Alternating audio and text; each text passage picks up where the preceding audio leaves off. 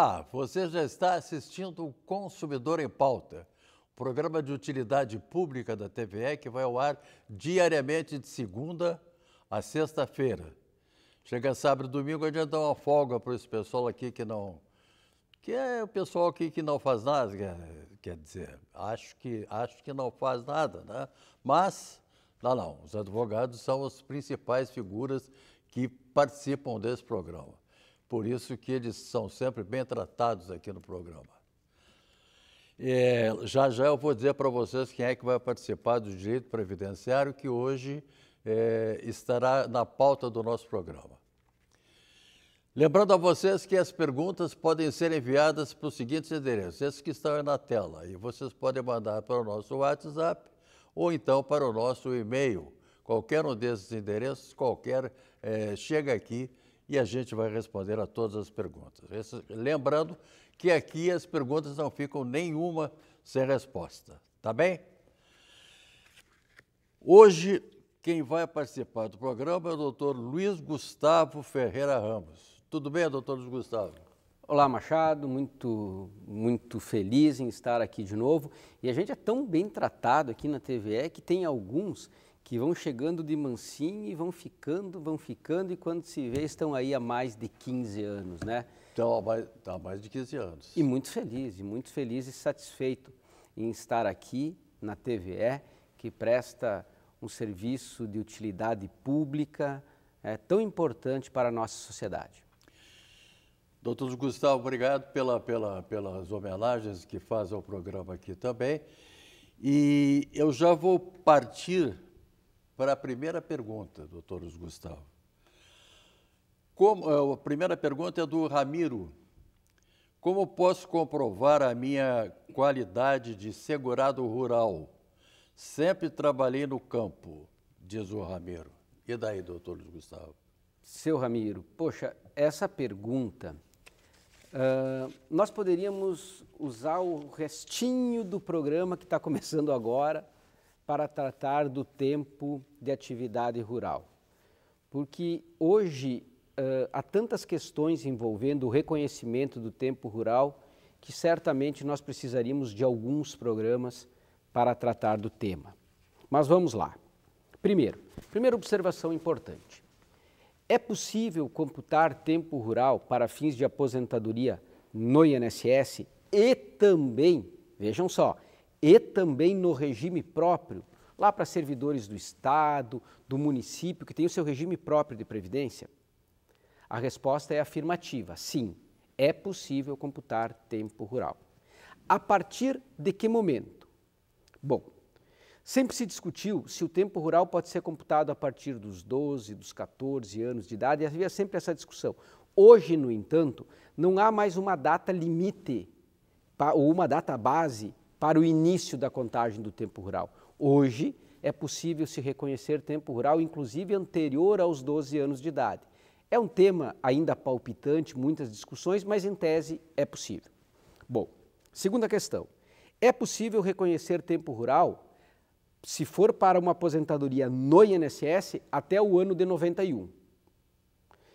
A partir de novembro de 91, inclusive, é necessário indenizar o tempo para poder usar para fins de aposentadoria urbana. Por exemplo, se um cidadão trabalhou até o ano de 2000 na, no, no meio rural e depois vem para a cidade, ele pode contar aquele tempo de atividade rural? Pode. O tempo até 91 ele vai computar sem precisar pagar qualquer indenização. O tempo posterior a 91 ele precisa indenizar ao INSS. Agora, se o cidadão quiser se aposentar no regime próprio, servidor público do Estado, da União, de alguns dos municípios que têm regime próprio, pode usar tempo rural? Pode. Mas aí precisa indenizar todo o período. Em linhas gerais é isso. Agora nós vamos para a pergunta. O como eu posso comprovar? De qualquer maneira, Ramiro, qualquer documento. Agora é importante, precisamos ter início de prova documental, ou seja, precisamos ter documentos não precisa ser um para cada ano, não precisa ter muita documentação. Quanto mais, melhor, claro. Mas é preciso um início de prova material. Qualquer documento que demonstre que a família se dedicava ao labor rural, que a família ou que o próprio segurado foi qualificado como agricultor, documentos em nome dos pais servem para provar a atividade rural do filho, enfim. O campo probatório da atividade rural é amplo. Agora, para finalizar, aquele trabalhador rural que até hoje labora no campo, esse pode se aposentar como trabalhador rural e tem que comprovar tão somente os últimos 15 anos de atividade. Tem que comprovar que está no meio rural hoje e que trabalhou nos últimos 15 anos em atividade rural. E o campo probatório, como eu disse, é amplo. Qualquer documento serve para comprovar o tempo rural, desde que prove a atividade em si ou desde que nesse documento conste a qualificação de algum dos membros da família como trabalhador rural. Em pouco tempo que, que a gente tem, e em linhas gerais, é isso, seu Ramiro. Mas se ficou alguma dúvida, repasse mais perguntas para cá que nos próximos programas a gente retoma o assunto. A próxima pergunta é do Anônimo. Me aposentei esse ano como servidor estadual. Ingressei no IP Prévio com pedido de isenção de pagamento do imposto de renda por ter doença grave listada na legislação. Não obtive previsão para o trâmite e o processo está parado. Posso fazer alguma, alguma coisa administrativa oficialmente ou só me resta aguardar? Há algum prazo legal? Pergunta o anônimo. Bem, vamos lá. Primeiro vamos, contextualizar o tema. Isenção de imposto de renda em função de alguma doença grave. É possível? A resposta é afirmativa outra vez. Sim. Se o senhor ou a senhora que estão em casa são aposentados ou recebem pensão por morte e são e têm alguma doença grave, mesmo que já tenha havido uh, o completo tratamento, por exemplo, um câncer, o cidadão diagnosticou, foi diagnosticado melhor com a doença, fez o tratamento e hoje está bem. Esse cidadão tem direito à isenção de imposto de renda.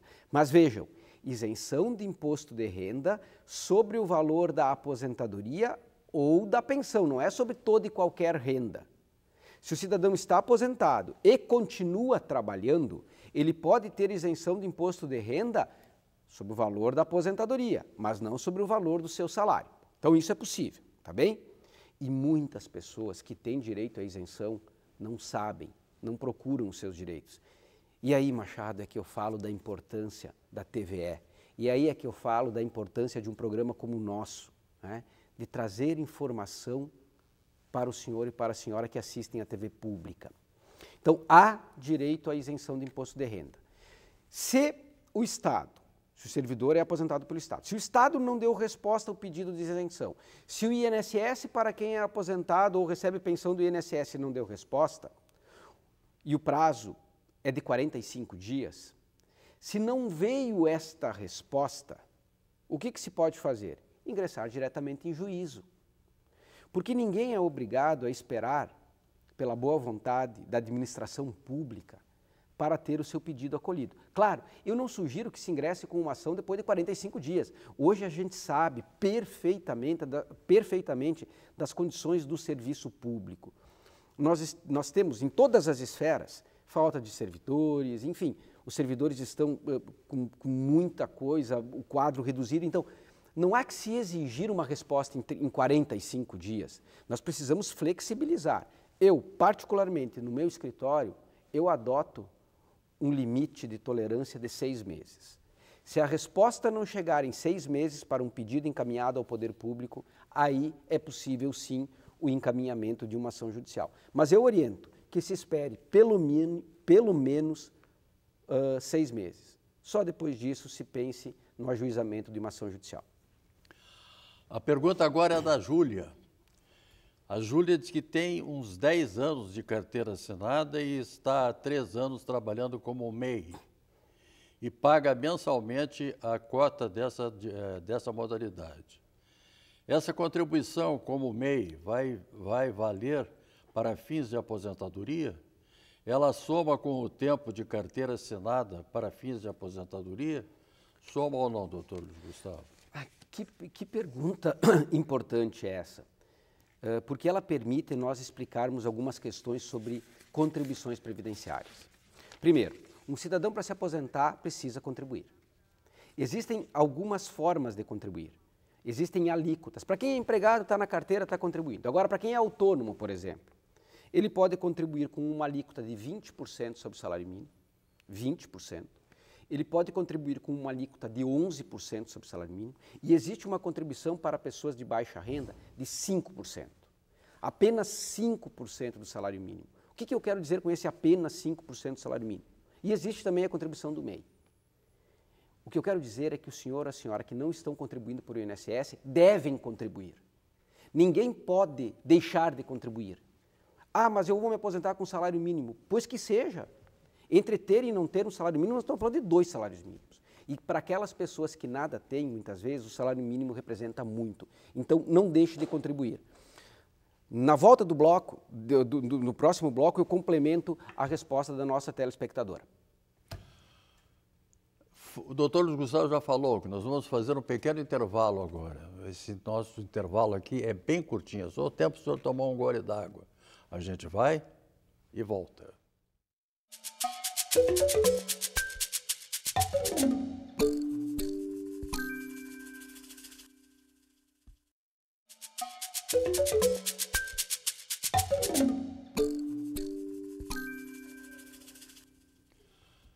Você está assistindo o Consumidor em Pauta e hoje nós estamos tratando de direito previdenciário. Tenho um prazer muito grande de estar conversando aqui com o doutor Luiz Gustavo Ferreira Ramos, que é quem está respondendo sobre as, as perguntas que vocês nos mandam para, para, essas, para esse momento.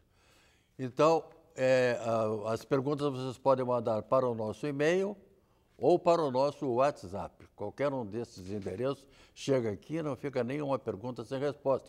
Como não vai ficar sem resposta a pergunta que o doutor Luiz Gustavo encerrou é, é, praticamente no final do, da, da cota que ele tinha né, para, para trabalhar. Então, Machado, voltando à resposta da nossa telespectadora. Contribuições feitas via MEI, microempreendedor individual. Quem é microempreendedor individual tem uma contribuição específica que engloba também a contribuição previdenciária. Essas contribuições do MEI, que equivalem a 5% do salário mínimo, como também aquelas contribuições de 11% sobre o salário mínimo, ou aquelas contribuições de 5% em função do segurado ser de baixa renda. Essas contribuições todas serão aproveitadas para a aposentadoria por idade. Por idade. Se o cidadão quiser uma aposentadoria por tempo de contribuição, ele precisará complementar essas contribuições. Agora, essas contribuições feitas via MEI, elas autorizam, elas podem ser usadas para concessão de aposentadoria por idade ou para benefício por incapacidade, auxílio doença, aposentadoria por incapacidade permanente. De modo que vale a pena contribuir. Isso é o importante, seja como MEI, como contribuinte individual de baixa renda, 11%, para quem opta por uma aposentadoria de salário mínimo, não importa. O que importa é o cidadão estar protegido, debaixo do guarda-chuva da Previdência Social. A próxima pergunta agora é de um anônimo. E esse anônimo diz o seguinte: Adoro o programa. Poxa, que bom. Né?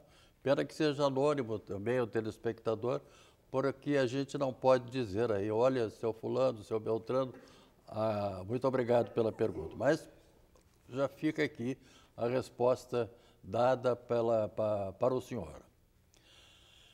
Minha mãe tem 74 anos e uns 10 anos de contribuição. Ela pode encaminhar pedido de aposentadoria? Pode ou não pode, doutor Luiz Gustavo? Sabe, Machado, que uh, eu e o Anônimo, nós temos algo em comum. Mesmo que eu não o conheça, somos dois apaixonados por este programa. Então, nós já começamos bem. Temos tá algo em comum. Bom, mas em relação à sua pergunta, para que alguém possa se aposentar pelo INSS, aposentadoria por idade, são necessários no mínimo 15 anos de contribuição, 180 meses de contribuição. Ou 15 anos de atividade. Essa é uma discussão que está rendendo muito desde a reforma da Previdência. Porém, como não há um posicionamento do Poder Judiciário uniforme, dizendo que basta tempo de contribuição e não carência, que são contribuições mensais, eu não quero avançar nesse, nesse ponto ainda. Mas, em tese, em geral, são necessárias 180 contribuições mensais. Se a sua mãe já atingiu a idade mínima para aposentadoria por idade, que é 62 anos, basta que ela atinja o número mínimo de contribuições exigidas, que é de 180. Agora, se nós estivermos diante de um segurado que tem 10 anos de contribuição urbana, se esse segurado, porventura, em algum momento da sua vida, trabalhou, por exemplo, como trabalhador rural lá na sua infância, é possível utilizar o tempo rural para que, somadas as contribuições urbanas, cheguemos a 180 meses. Fica aqui, talvez não seja essa a situação da sua mãe, mas fica aqui a informação a título de conhecimento para os nossos telespectadores. A, a pergunta agora é do Jurandir. Tem uma, uma dúvida sobre o LOAS. Com quantos anos o benefício pode ser solicitado? Há necessidade de contribuição para o INSS? Que outras condições serão exigidas? Pergunta o Jurandir. Senhor Jurandir, depois a produção reclama que eu não termino as perguntas, mas uma pergunta igual a essa sua, ela precisa um programa todo para a gente responder, para falar sobre a Lei Orgânica da Seguridade Social, o benefício da prestação continuada, também conhecido como LOAS. Mas vamos lá. Primeiro, para ter direito ao benefício de prestação continuada, não precisa ter contribuições para o INSS. Ele não é um benefício de previdência social, ele é um benefício de seguridade social, que são coisas diferentes. Requisitos para a concessão do LOAS. Pessoa com mais de 65 anos ou com uma incapacidade, uma invalidez, uma incapacidade, diria eu, de longa duração. Terceiro requisito é, é idade ou incapacidade. Esse é o primeiro requisito. Segundo requisito, o benefício de prestação continuada ele só é, é deferido a pessoas de baixa renda. Para fins legais, família de baixa renda é aquela família cuja renda per capita, ou seja, renda por cabeça, renda por membro da família, não seja superior a um quarto do salário mínimo. Um quarto do salário mínimo. Então, esses são os requisitos. Idade superior a 60, 65 anos ou mais, ou uma questão de invalidez, e pessoas de baixa renda. Porém, esse requisito da baixa renda, ele pode e vem sendo flexibilizado. Porque, Machado, um quarto do salário mínimo, hoje, nós temos um salário mínimo em torno de R$ 1.400, arredondando R$ 1.500 aí, divide por quatro isso, né? É, é uma situação abaixo da linha da pobreza. Então, o Poder Judiciário, sensível a essa situação, vem flexibilizando o requisito da renda per capita. Portanto, o senhor e a senhora que nos assistem, se porventura encaminharam um pedido de prestação de benefício de prestação continuada, LOAS, junto ao INSS, e tiveram esse e, e o senhor ou a senhora teve esse pedido negado em função da renda da sua família, procure um advogado da sua confiança. Nós temos conseguido muitos, mas muitos avanços mesmo no que diz respeito a esse requisito da miserabilidade em si. Nós temos conseguido, por exemplo, afastar do cálculo da renda per capita despesas com medicamento, que não são custeados pelo Estado muitas vezes, uh, fraldas que, hum, porventura, algum membro da família precise utilizar em função de alguma doença, uh, aluguel, luz, alimentação, tudo isso nós exclu conseguimos excluir. Benefícios recebidos por outros membros da família de valor mínimo, nós também temos conseguido excluir do cálculo da renda. Enfim, nós podemos trabalhar muito a questão desse benefício que é tão importante, mas tão importante mesmo, que é para que algumas famílias tenham acesso ao mínimo de dignidade, ao mínimo de dignidade. Ele é um benefício muito importante. Acredito ter respondido a pergunta, mas eu quero deixar no ar aqui a informação. Se o senhor ou a senhora teve um benefício de prestação continuada negado pelo INSS, e a maioria esmagadora é negada, procure um advogado da sua confiança. Doutor Gustavo, então, é, o, senhor deve, o senhor deve tratar disso, de, desse, desse assunto aqui permanentemente lá no seu escritório. Eu tenho certeza absoluta que, que o senhor trata muito desse, desse trabalho aqui. É, pergunta de um anônimo. Tenho 53 anos de idade e 35 anos de contribuição. Posso pedir aposentadoria por tempo de serviço? Pode ou não pode, doutor? É impossível de responder essa pergunta depois da reforma da Previdência. Até a reforma da Previdência, em 2019, bastava que o cidadão tivesse, se fosse homem, 35 anos de atividade e teria direito à aposentadoria. A partir da reforma da Previdência, em 2019, não é suficiente tão somente 35 anos de atividade. É necessário o implemento de outros requisitos. Mas esses outros requisitos, eles estão linkados a cinco modalidades de regras de transição. Então, são várias possibilidades pedágio, idade mínima, soma de pontos. Uh, em tese, o cidadão que chegou a 35 anos de atividade, ele precisa procurar orientação. Porque ou ele tem direito de se aposentar ou ele está muito próximo de. E aí precisa organizar a vida e preparar a aposentadoria. Eu não consigo avançar mesmo porque me faltam dados. Uh, por fim, voltando um pouquinho à pergunta anterior, o, o, o senhor refere, seu Machado, que no meu escritório a gente lida com isso, sim, a gente lida muito com benefício assistencial. E esse é um benefício que ele toca diferente o advogado previdenciarista, sabe? Aquele advogado que realmente gosta do que faz, como, como eu, graças a Deus, acordo todo dia para fazer o que eu gosto, ele toca diferente, porque ele é um benefício que, como eu falei antes, ele lida com o mínimo existencial. Uh, nós nos deparamos com situações, às vezes, que uh, é difícil até de nós olharmos as fotografias das condições em que a família vive. E essas fotografias, eu digo, elas vêm para o processo porque é necessário um estudo social da família. Mas esse é um benefício que nos toca. E toda vez que a gente consegue um benefício desses, a nossa realização, claro que também vem com os honorários, porque é disso que a gente vive, claro, né? Claro mas ela é outra. A nossa realização maior num processo desses é poder entregar a uma pessoa um pouquinho de dignidade, porque as famílias que, que precisam, que necessitam do benefício assistencial, realmente são pessoas que precisam muito, muito mesmo. Pessoas que praticamente não têm nada. Né? Por isso que esse benefício ele é um benefício que me toca de um modo particular.